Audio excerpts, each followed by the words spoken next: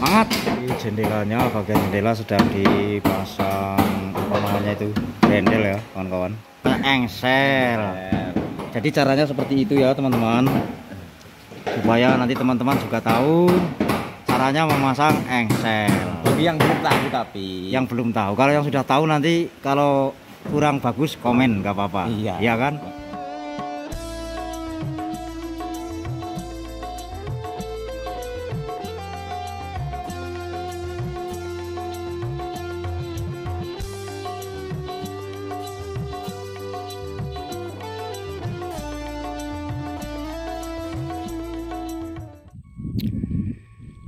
Baiklah teman-teman dan sahabat Madrim yang tercinta di mana pun panjenengan berada Kita lanjutkan untuk menyimak video ini ya. Masih di seputar pedesaan dan pertanian di pemukiman transmigrasi OPT Sepunggur Kabupaten Bulungan Kalimantan Utara Indonesia. Sahabat Madrim yang tercinta Pada video kali ini saya menunggu datangnya kayu ya atau material untuk jembatan Masjid Al-Aqsa yaitu kayu terkuat, kayu terbagus dan kayu terawet di Kalimantan. Kalau tidak salah hari ini yang datang kayu ulin 10 10 4 meteran ini perahunya tadi saya susul di sana. Sementara sedang berlaju ke sini mengarungi sungai yang ada di depan rumahnya Pak Sudiwani. Seperti itu kawan-kawan. Dan kemungkinan besar eh, nahkodanya yang membawa perahu ialah beliau yaitu Bapak Gino.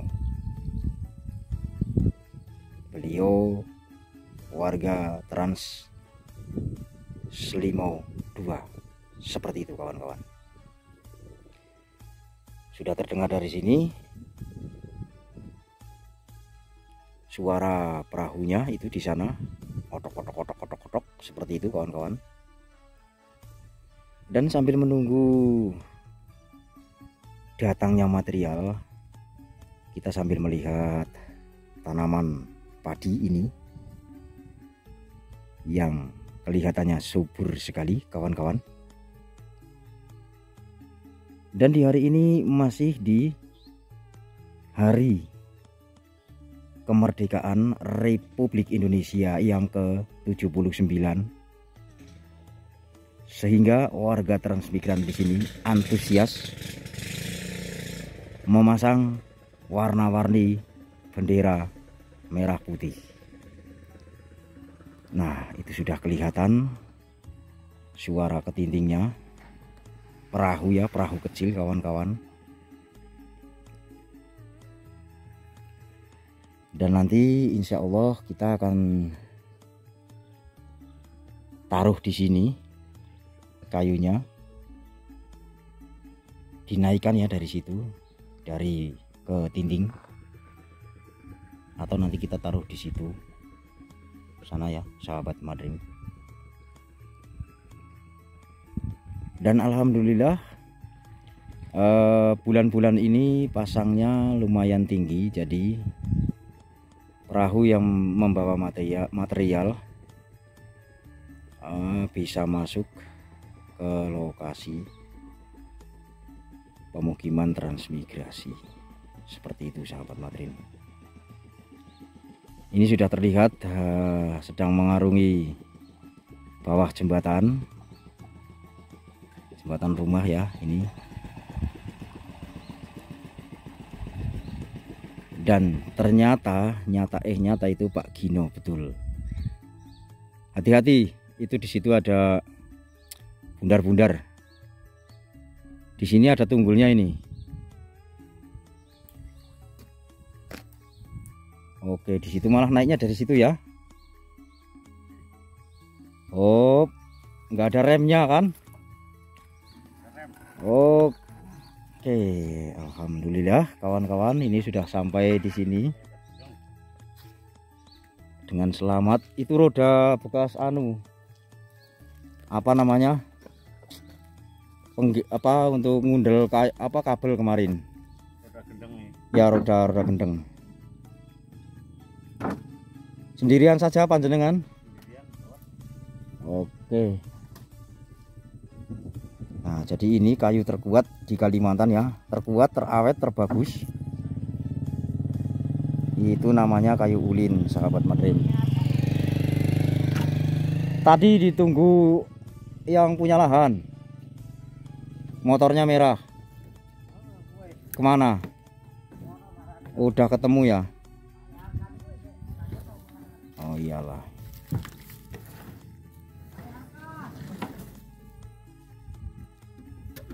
kurang maju loh ini sudah kena tunggul sudah Kanan kiri tunggul. iya kanan kiri tunggul sudah atau mungkin yang sebelah sini bisa ke sini ya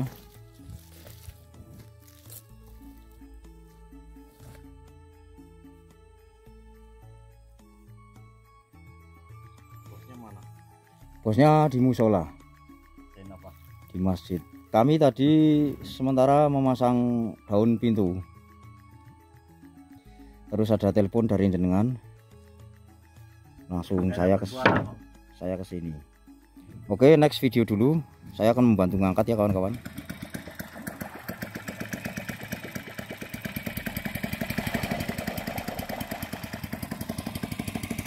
Baik sahabat Amadrim kita lanjutkan videonya ya Alhamdulillah ini sudah kita angkat dari perahu tadi ya. Ini 10 kali 10 panjangnya 4 meter. Dan ini ada kemarin kurangan papan dua lembar. Ini sudah dibawakan. Ini tadi jumlahnya 15 biji teman-teman. Dan itu perahunya pengantarnya sudah mulai pulang pulang ke sana ke Selimau 3 ya. Itu Bapak Gino. Teman-teman jadi ini nanti tinggal kita langsir dibawa ke masjid sana. Itu lewat sini nanti entah mau langsung pakai motor digeret atau pakai gerobak tapi sepertinya gerobaknya sedang tidak bisa digunakan ya kawan-kawan. Karena ada kendala mungkin rusak. Jadi mungkin ini ditarik aja pakai motor atau dipikul satu-satu. Tapi kalau mikul jauhnya itu sampai sana ada 400 meter lebih kawan-kawan. Jadi kayaknya berat kalau dipikul ya. Kemungkinan nanti ini digeret saja lah seperti itu sahabat marim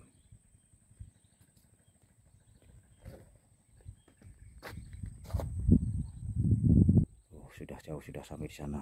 Mudah-mudahan selamat sampai tujuan Pak Gino ya Oke teman-teman kita lanjut. Saya mau ke masjid lagi ya sana. Next video dulu.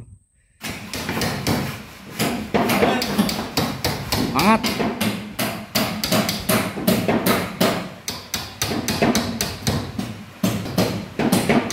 Itu Pak Alam di atas ya kawan-kawan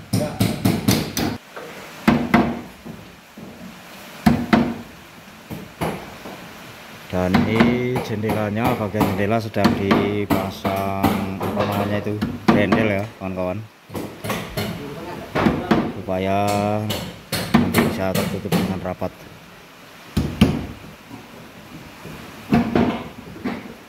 terus ini bagian tukang usruk-usruk ini Ya.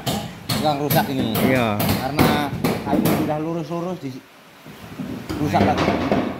Tapi itu kan untuk tempat. Untuk tempat apa namanya? Engsel. Jadi caranya seperti itu ya teman-teman. Supaya nanti teman-teman juga tahu caranya memasang engsel. Bagi yang belum tahu tapi. Yang belum tahu. Kalau yang sudah tahu nanti kalau kurang bagus komen nggak apa-apa. Iya. ya kan? Minta apa namanya? Uh, pencer- pencer- pencerahannya. Sebenarnya kalau ada alatnya nih, pakai ini loh, apa namanya itu? Polter. iya Enak sekali nih. Jadi sudah tinggal cus cus gitu ya Weh. luar biasa. Cuman kan karena alatnya ada ya. ya pokoknya alat manual. Manual. itu namanya bukan sistem itu Bukan, ini manual. Ini. manual itu Hmm, ini. ya Seperti itu. ini manual kalau yang sistem itu pakai ngeng ngeng ngeng oke lah tetap semangat Semangat terus kasih Ya. kendor. sini yang satunya ini mau diapain ini dilubangin dulu sebelum kita pasang ke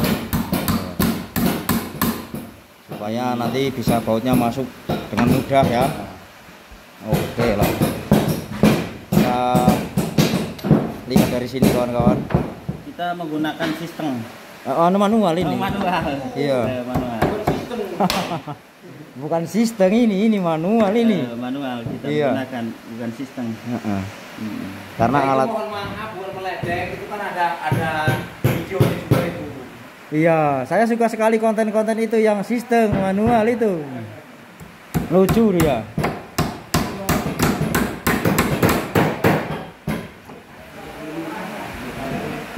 Oke lah kawan-kawan. Kita next video. Baiklah sahabat Madrim yang tercinta di mana pun panjenengan berada Mungkin video saya kali ini tentang perehapan masjid atau pengangkutan material tadi ya Cukup banyak sampai di sini dulu Jumpa dan ketemu lagi nanti di tayangan-tayangan Madrim berikutnya Atau di episode yang akan datang Dan dari saya apabila ada salah kata salah ngomong Karena Madrim ini hanyalah manusia biasa yang tidak luput dari salah Madrim mohon maaf yang sebesar-besarnya Seperti biasa ya kawan-kawan eh, Saya akhiri dengan pantun Mobil Taufik melintas di darat, petani sepunggur kita benahi satu persatu. Wabillahi taufik wal hidayah. Wassalamualaikum warahmatullahi wabarakatuh.